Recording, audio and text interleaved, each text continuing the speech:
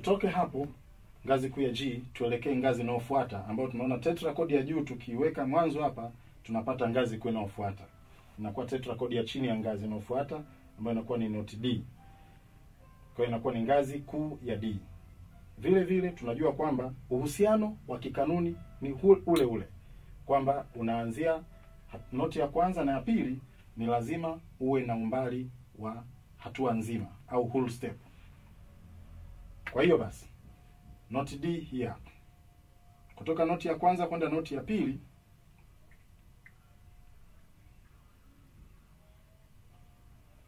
tunaambiwa twende kwa hatua nzima, na hatua nzima inaundwa na nusu hatua mbili. Kwa hiyo kutoka D kwenda D sharp ni nusu hatua, nusu hatua ya kwanza. Nusu hatua ya pili ni kutoka D sharp kwenda E.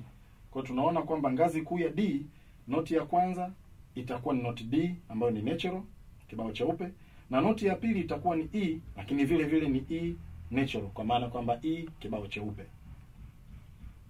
Kutoka noti ya pili E kwenda noti ya tatu tunaambiwa twende kwa hatua nzima. Kutoka noti E ukienda kwa hatua nzima unaenda noti F, lakini E kwenda F ni nusu hatua. Kwa hiyo nusu hatua ya pili ni nini? Nusu hatua ya pili ni F sharp, kwa maana kwamba nusu hatua ya kwanza ni E kwenda F, nusu octave ya pili ni F kwenda F sharp. Kwa tuna, tunaona kwamba katika ngazi kuu ya D note F inapandishwa. Tunaendelea kutoka noti ya tatu kwenda noti ya nne, tunaambiwa twende kwa nusu hatua. Kwa hiyo nusu hatua tulikuwa noti ya tatu, note F sharp. Kwa hiyo tunatua G. G itakuwa natural. Kutoka G kwenda noti ya tano, tunaambiwa twende kwa hatua nzima kiungo. Kwa hiyo G hatua nzima kiungo ni nusu hatua mbili. G G sharp nusu hatua ya kwanza, G sharp A nusu hatua ya pili. Tunaona noti A inakuwa ni noti A natural. Kutoka noti ya tano A natural kwenda noti ya sita B, tunapaswa twende kwa hatua nzima au whole step. Kwa hiyo kutoka A kwenda B tunaambiwa twende kwa hatua nzima ambayo nusu hatua itatufikisha A sharp, nusu hatua ya pili itatufikisha B. Tunaona kwamba noti ya sita itakuwa ni B natural. Kutoka kibao B natural ambayo noti ya sita kwenda noti ya saba tunapaswa twende kwa nusu hatua pia. Kwa hiyo kutoka B sorry kwenda noti ya saba twende kwa nusu hatua. Nusu hatua kutoka B kwenda C, tunajua kwamba B kwenda C ni nusu hatua. Je, nusu hatua ya pili kwa wapi? Nusu hatua ya pili maana yake inabidi tufike C sharp.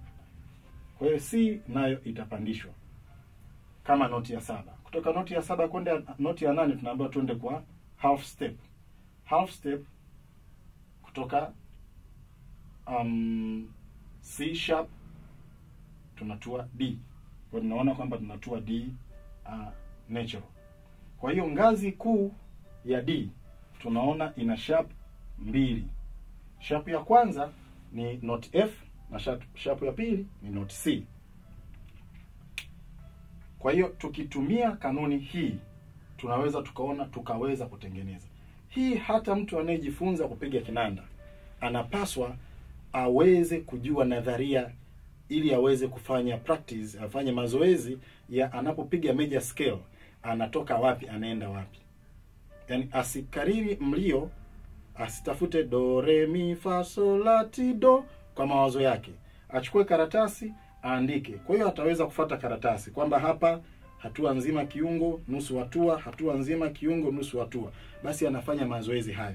Ndio maana wakati mwingine unaweza ukaona wataalamu wazuri wa nadharia wanaweza wasijua wao kupiga kinanda, lakini akamfundisha mpiga kinanda namna ya, ya, ya fingering, namna ya kupiga kinanda, kwa sababu tu yeye kinanda anakijua na anajua kanuni za kutengeneza ngazi kuu. Kwa hiyo ni muhimu sana sana sana kwa uh, mpiga kinanda au kwa mnadharia kujifunza jambo la msingi la kutengeneza ngazi. Basi baada ya kuona uh, hizo ngazi kuu tatu tulizotengeneza, tunaona kwamba kutoka ngazi kuu ya C, ngazi inayofuata ni ya G na ngazi inayofuata itakayofuatia ni ngazi ya D. Kwa maana basi ngazi kuu ya C haina sharp wala flat. Ngazi kuu ya G ina sharp moja ambayo ni note F na ngazi kuu ya D ina sharp mbili ambayo ni note F pamoja na noti C. Sasa mfululizo huo wa kikanuni tunavyozidi kuukumbuka, ndivyo ambavyo utatuongezea kwamba ni namna gani mfululizo ukitoka ngazi kuu ya C unaenda ngazi kuu ya G, kutoka ngazi kuu ya G unaenda ngazi kuu ya D, ukitoka ngazi kuu ya D unaenda ngazi kuu inayofuata A, kutoka A unaenda E. Ni kwa namna hiyo. Basi tuendelee sasa. Hali kadhalika hili somo ni refu, lakini linahitaji mazoezi, na tuendelee tufuatilie kwa pamoja, ili tuweze kujenga uh, uimara wa ufahamu wetu, hasa kutumia kanuni. Ngazi zingine zote zinazofuata kanuni ni hiyo hiyo, hatua nzima kati ya noti ya kwanza na ya pili, hatua nzima kati ya noti ya pili na ya tatu, nusu hatua kati ya noti ya tatu na ya nne, hatua nzima kiungo kati ya noti ya nne na ya tano, na hatua nzima kati ya noti ya tano na ya sita, hatua nzima kati ya noti ya sita na ya saba, na nusu hatua kati ya noti ya saba na ya nane. Hiyo ni kanuni, na kanuni hiyo inawekwa kwenye mfululizo ule wa uh, noti kialfabeti bila kuruka wala bila kurudia, kwamba tumesema ukianza A not A basi utaenda A B C D E F G bila kurudia noti katikati yake au herufi yoyote. Twende ngazi inayofuata, tunaona ni ngazi kuu ya A. not A ndio inakuwa noti yetu ya kwanza, na tunaona kutoka not A, noti ya pili ni not B. Tunaambiwa twende kwa hatua nzima. Kwa hiyo A kwenda B ni hatua nzima, ni nusu hatua mbili.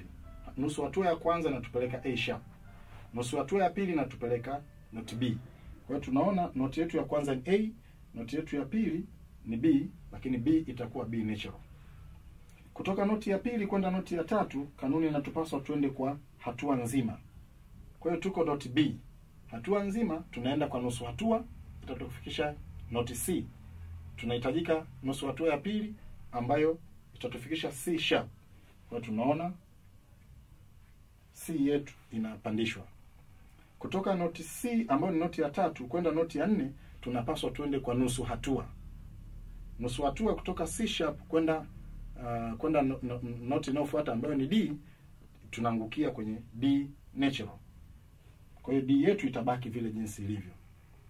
Kutoka noti D kwenda noti E, tunapaswa tuwe na hatua nzima kiungo kati ya tetrakodi ya kwanza na mwanzo wa tetrakodi ya pili.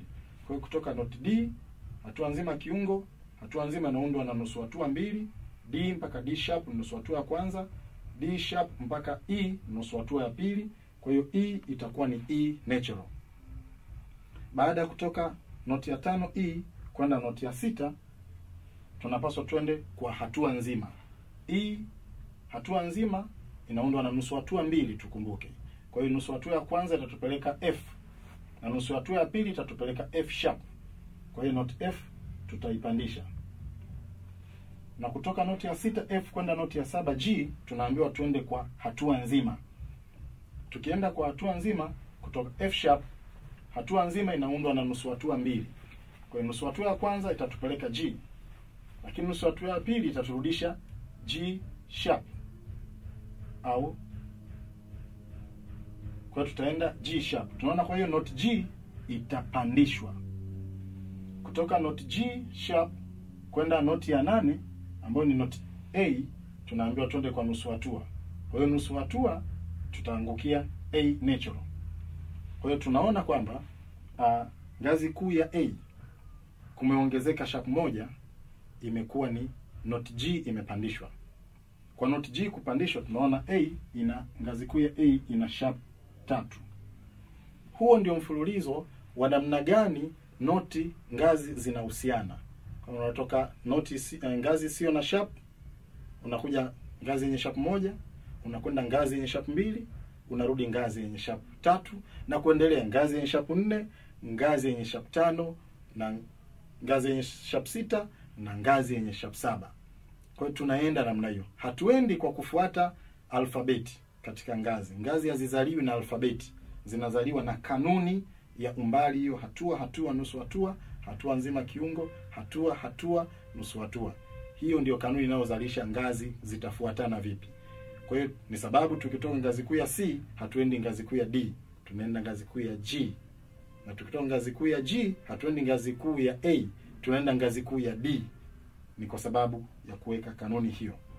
Tuendelee na tuangalie ngazi inayofuata. Tunaona tetrachord ya juu ya ngazi tuliyomaliza ya A ikiwa tetrachord ya chini ya ngazi inayofuata. Unajua tetrachord ya juu inaanzia na note E. Tumeweka hapa note E. Kwa hiyo tukiweka note E tunaanza, hii ni E natural.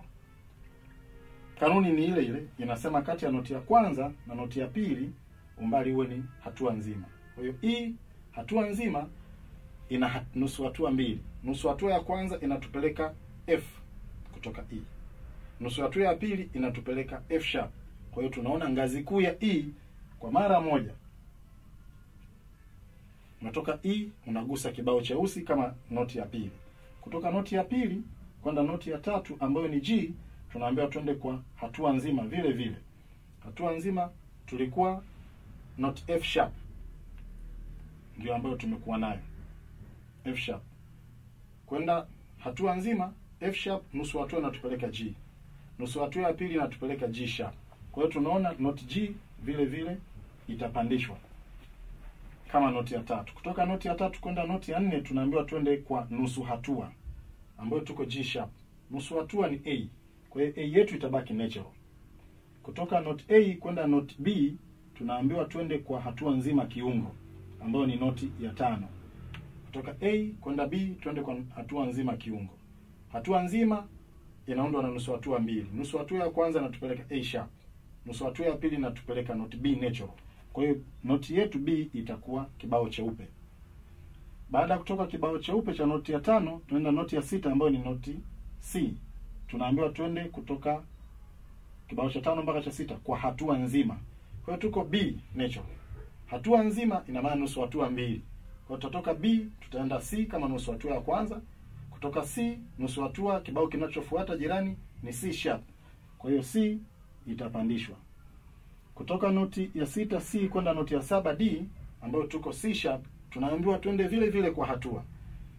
Nusu hatua itatupeleka D, nusu hatua ya pili itatupeleka D sharp. Kwa hiyo noti yetu ya saba itakuwa ni D sharp. Tukitoka D sharp kwenda noti ya nane tunaambiwa twende kwa nusu hatua.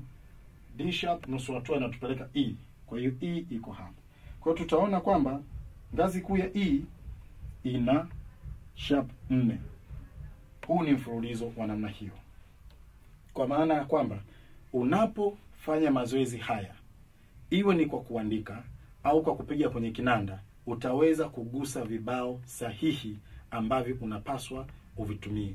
Kwa hiyo utagusa ngazi kuu ya E, utagusa note E natural, utaenda F sharp, utaenda G sharp, utaanguka A natural utaenda B natural, utaenda A sharp, utaenda B sharp, uh, utaenda A natural, utaenda B natural, utaenda C sharp, utaenda D sharp, alafu utamalizia na ngazi na noti yako kama ilivyoanza kule mwanzo, ambayo itakuwa ni ngazi kuu ya E.